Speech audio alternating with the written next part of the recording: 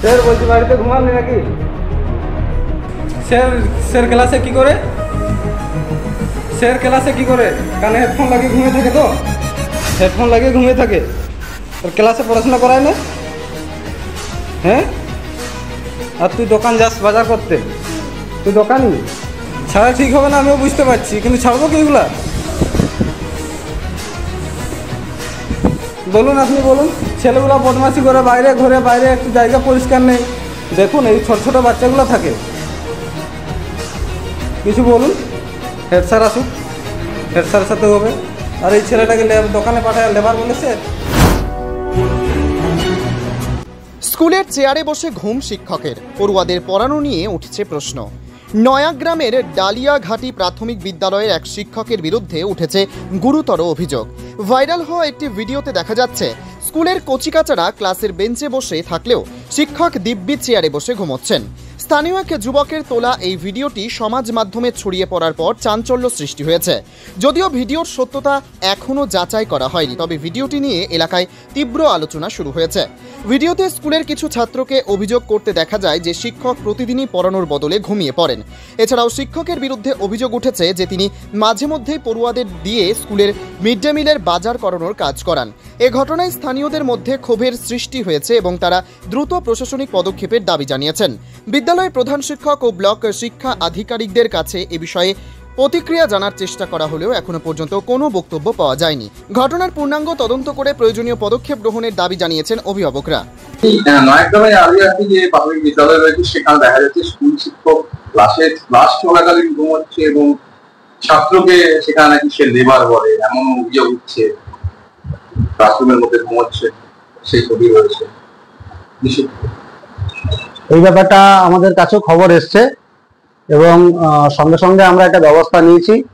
ওই শিক্ষকের বিরুদ্ধে ডিসিপ্লিনারি অ্যাকশন অলরেডি স্টার্ট হয়ে গেছে। আমি এসআইয়ের সঙ্গে যোগাযোগ করেছিলাম। উনি সম্ভবত একজন প্যারা টিচার আমরা যতটুকু খবর পেয়েছি। ওনার এগেনস্টে যে ডিসিপ্লিনারি অ্যাকশন অলরেডি স্টার্ট করা হয়েছে। শিক্ষা প্রতিষ্ঠানে যেখানে বাচ্চারা শিখতে যায় পড়াশোনা করতে যায় সেই জন্য আবার দেখা যাচ্ছে আর ছাত্র অভিযোগ করছে এটা শিশু যে কিছুই বোঝে না তাকে নাকি লেবার বলছে। এই বিষয়টাও কি বিষয় দেখুন এগুলো তো ম্যান টু ম্যান ভ্যারি করে। বহু শিক্ষক আছেন যারা বহু দূরে প্রান্তিক স্কুলে গিয়ে ছাত্রছাত্রীদের জন্য তারা আপ্রাণ লড়াই করছেন অনেক ভালো কাজ করছেন এরকম বহু শিক্ষক আছেন। আবার একজন দুজন এমন শিক্ষকও আছেন যাদের জন্য পুরো শিক্ষক সমাজটা আহ, দুর্নাম হয়ে যাচ্ছে। হম তো এই ধরনের শিক্ষকদেরকে শাস্তি দিয়ে প্রয়োজনীয় ভাবে সংশোধন করার আমরা চেষ্টা করব। হম, সেটা অলরেডি আমরা কিন্তু এই প্রসেসটা স্টার্ট করে দিয়েছি। স্যার, বলছি বাড়িতে ঘুমাননি নাকি? বাড়িতে ঘুমাননি? বাড়িতে ঘুমাননি? নাকি, বলুন। কতগুলো শিক্ষক আছে বলুন তো আসেন এখন কটা বাজে বলুন? এগারোটা? এগারোটা পাঁচ। তাহলে এসে ঘুমিয়ে গেছেন যে আপনি আপনার দায়িত্বটা কি আপনি বলুন? আপনারা থাকা সত্ত্বেও ছেলেরা মারপিট করে। বলুন, কিছু বলুন আপনি। এসে ঘুমিয়ে গেছেন। এই, স্যার স্যার ক্লাসে কি করে? স্যার ক্লাসে কি করে? কানে হেডফোন লাগিয়ে ঘুমিয়ে থাকে তো? হ্যাঁ? কি করে স্যার? কি করে স্যার? হেডফোন লাগিয়ে ঘুমিয়ে থাকে? দেখেছিস তো? কার কে কে দেখেছিস কার কে কে? স্যার কি করে?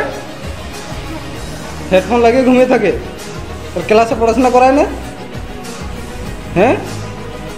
আর তুই দোকান যাস বাজার করতে? তুই দোকানই না তুই স্কুলের কে? কে পাঠায়? কে পাঠায়? দাঁড়া, কে পাঠায়? হেড স্যার পাঠায়? হ্যাঁ? হেড স্যার পাঠায় তো? লেবার বলে হেড স্যার মিঠুন স্যার কি বলেন আপনি? লেবার বলেন। বলুন।